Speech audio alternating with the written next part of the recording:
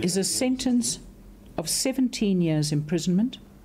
unikezwa iminyaka ewu-17 ngaphakathi Five years of that sentence is suspended.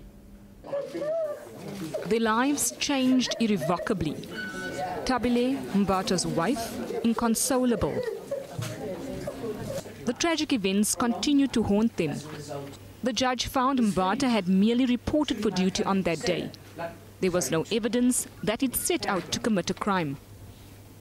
I find it strange that the more senior and experienced member of the police was the driver of the vehicle, while the junior and less experienced member of the South African police, one who was still in training, is the person who was furnished, who was prov- provided with this highly dangerous weapon.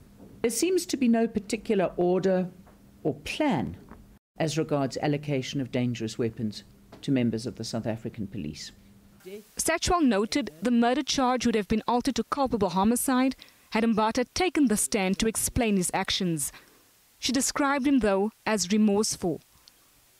Judge Satchwell made an impassioned plea to the Mokoka family to forgive. She said while she understood the need to exchange a life for another, one had already been destroyed. She also said today's sentencing would not bring their son back. Outside court, the Mokoka family was overwhelmed. I forgive Sipho Mbatha, that's all I can say. For both families, the losses are great.